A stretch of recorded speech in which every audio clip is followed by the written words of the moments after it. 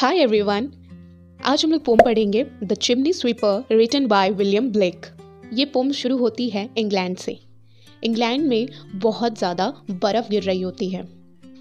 और वहाँ के लोग अपने आप को गर्म करने के लिए चिमनी का यूज़ करते हैं, ताकि चिमनी में कुछ लकड़ियाँ डालें और आग जलाकर अपने आप को गर्म रख सकें।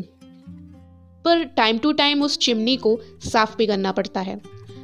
अब आपको पता होगा कि चिमनी में कोई भी बड़ा इंसान जाके उसको साफ़ नहीं कर सकता। उसके लिए तो छोटा ही बच्चा चाहिए कि वो अंदर घुस के उसको साफ़ कर सके। तो ये पोम एक छोटे बच्चे के ऊपर लिखी गई है। इसमें एक छोटा बच्चा है जो चिमनी साफ़ कर रहा होता है और इसमें पोएट बोलता है कि हर जगह बर्फ़ है और वाइट वाइट बर्फ़ के आसपास ये ब्लैक ब्लैक सा क्या घूम रहा है। अब इसमें जो बच्चा होता है, उसने चिमनी साफ़ की होती है। इसलिए वो पूरा ही ब्लैक हो जाता है। साफ़ करके जब वो निकलता है तो वो पूरा ही ब्लैक हो जाता है। और वो बर्फ़ के आर पार आस पास ऐसे घूम रहा होता है, खेल रहा होता है, कूद रहा होता है। और साथ ही साथ, जब वो रोड में चलता है तो वो एक सॉन्ग गाते हुए जाता है। सॉन्ग गाते हुए जाता है कि किसी को अपने घर की चिमनी साफ़ करवानी है तो वो करवा सकता है, मेरे पास आ सकता है। जब ये बच्चा चिल्ला चिल्ला कर आ, ऐसा बोलता है कि किसी को भी अपने घर की चिमनी साफ़ करवानी है तो मेरे पास आ सकता है मेरे से बात कर सकता है। तो तभी क्या होता है एक उसको अंकल मिलते हैं और वो अंकल उस बच्चे से बोलते हैं कि अरे तुम तो इतने छोटे हो और तुम्हारे पेरेंट्स कहाँ हैं? तुम्हारे मॉम डैड कहाँ पे हैं? तो वो बच्चा बोलता है मेरे मॉम डैड अभी इस वक्त चर्च में हैं और चर्च में प्रे करने के लिए गए हैं। तो वो जो अंकल होते हैं वो बोलते हैं अरे, तुम्हारे पेरेंट्स कैसे हैं कि तुमको छोड़कर मतलब तुमको काम में लगाया हुआ है और खुद चर्च में गए हैं प्रे करने के लिए?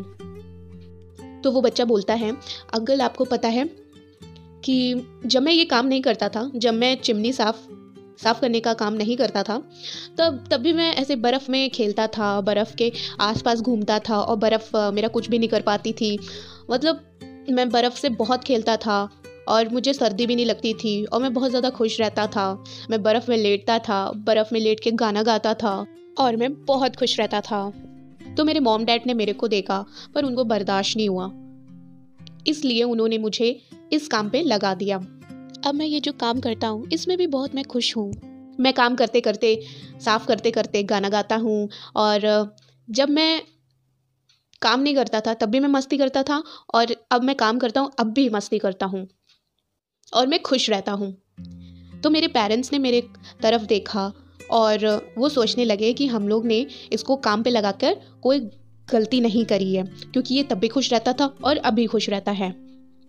और अंकल, अभी मैं जो काम करता हूँ, इससे मैं कुछ पैसे कमाता हूँ और मेरे घर में कुछ हेल्प हो जाती है।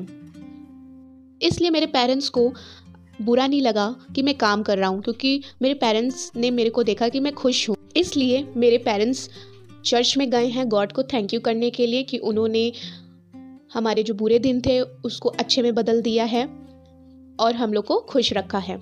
तो यहीं पे हम लोग की पोम ख़त्म होती है। आई होप आपको ये पोम अच्छी लगी हो। अगर आपको अच्छी लगी हो तो लाइक कीजिएगा सब्सक्राइब कीजिएगा और कमेंट ज़रूर कीजिएगा। Thank you